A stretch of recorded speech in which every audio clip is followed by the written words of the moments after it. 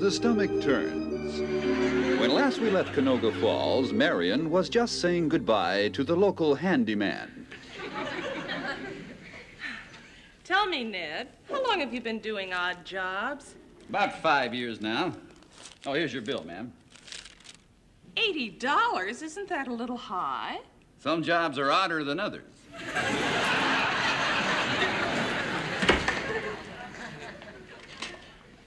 He's such a wonderful handyman. Leaves everything in such good shape. More coffee, Renee. No, thank you. But Renee, you always drink coffee when you tell me of your problems. But I have no problems, Marion. You have no problems? No. Everything's just hunky dory. Oh. Ginger peachy, tip top. It just couldn't be better. Ooh.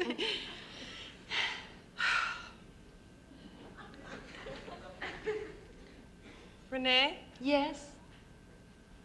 I have a problem. You have a problem?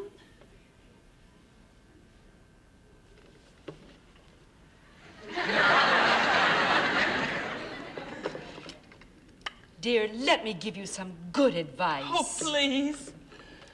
Look for the silver lining. All good things must come to an end, and he who hesitates is lost. Those are the exact same words I always say to you when you have a problem. I know. They're written here on your cup. This time, Renee, those wonderful words of wisdom are, are meaningless. Oh, what is wrong, Marion? Oh, dear, is it that you're so painfully ordinary and homely?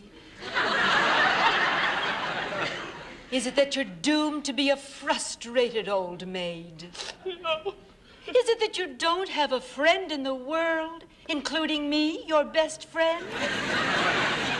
Well, so what's your problem? Nothing compared to those questions.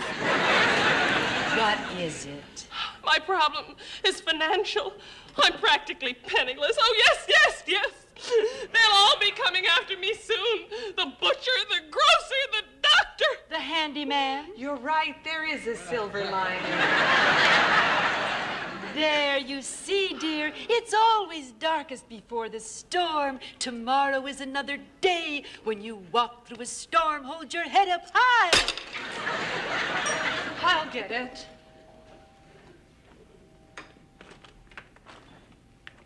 Why, hello, and who are you? Don't you remember me, Mother?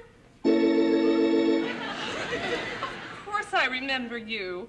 How could a mother forget her only daughter? Hello, Betty. Joyce. I was close. Come in, come in.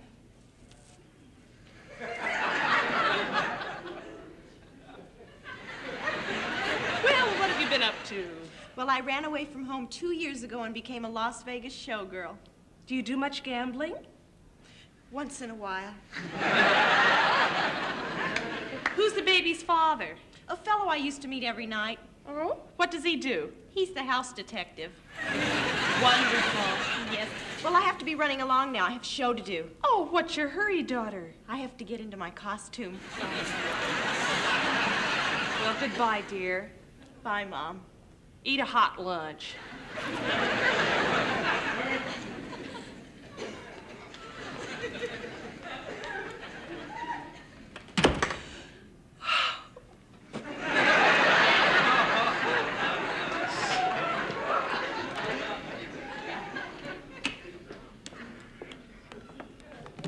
What are you doing, Marion? Renee, I am taking everything that means anything in the world to me, and I am leaving Canoga Falls.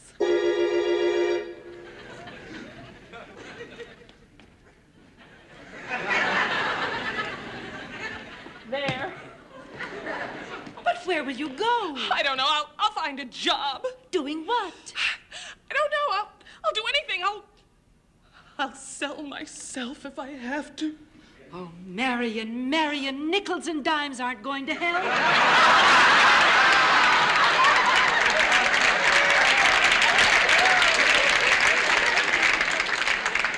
It's no use. No use. Nothing you say will make me stay. But Marion. All right, I'll stay. I have an idea. What? Summer is coming to Canoga Falls.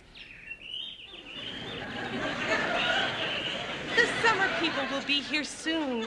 I could rent rooms and make oodles of money. Why, that's a grand idea. I can put a sign in the window. I know. I'll go make the sign right now. Good.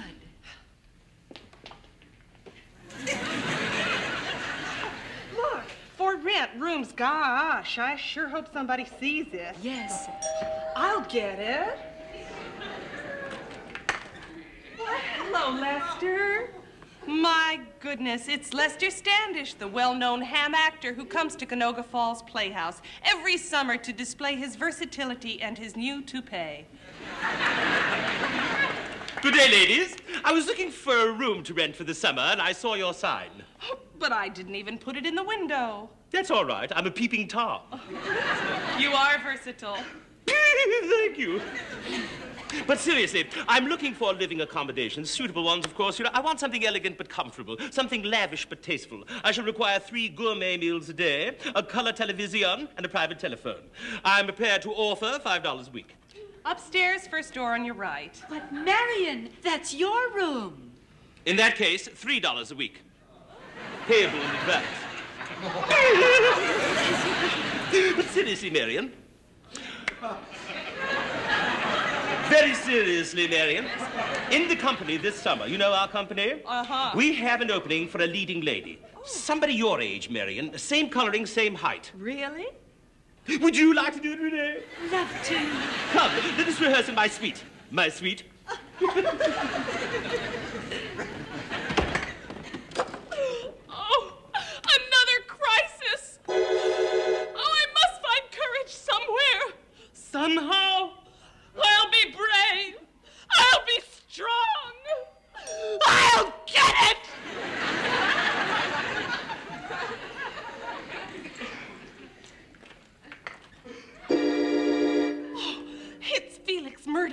mean banker who's come to foreclose on my house. I'll pretend I'm not home. Open up, Marion. I'm not home. Stop pretending. Hello, Felix. What a pleasant surprise. Come off it, Marion. I'm foreclosing on your house.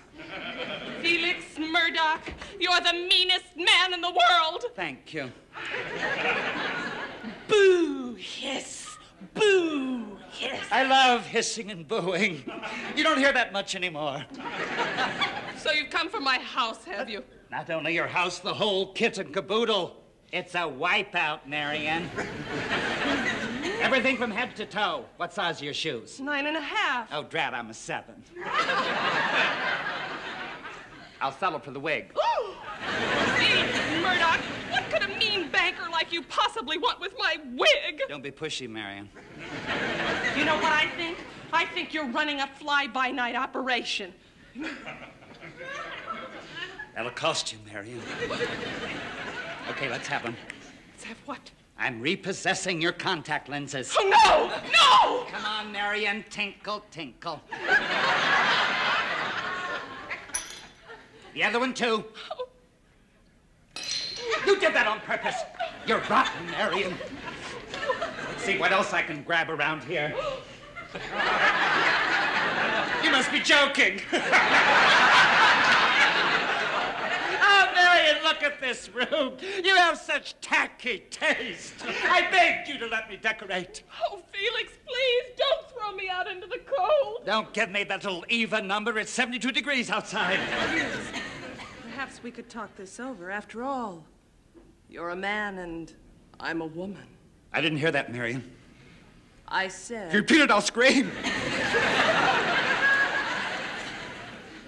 Giving you 20 minutes to clear out of here, Marion. Wait, Felix! What is it?